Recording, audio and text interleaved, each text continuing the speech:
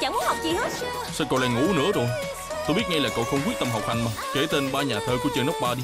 Một, hai, ba.